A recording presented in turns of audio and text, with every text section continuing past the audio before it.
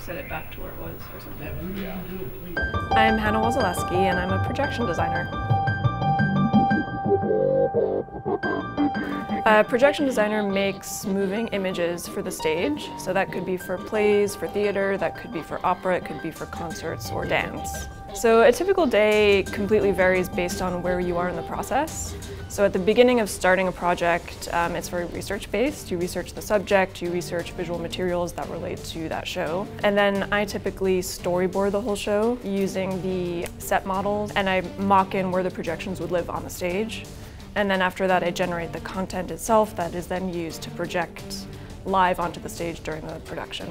To succeed uh, as a projection designer, the most important thing is to have a curiosity for it. I don't think you necessarily have to be great at the technology. I think you can learn that as you do it.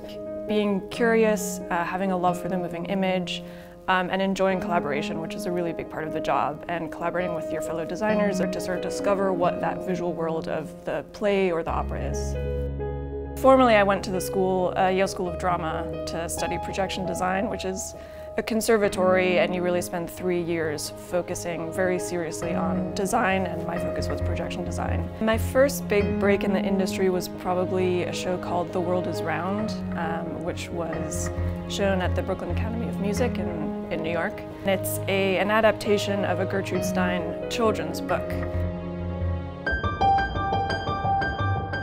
Advice that I would give to someone looking to have a career in theater would be to see plenty of theater as a start and sort of see what really intrigues you and draws you in.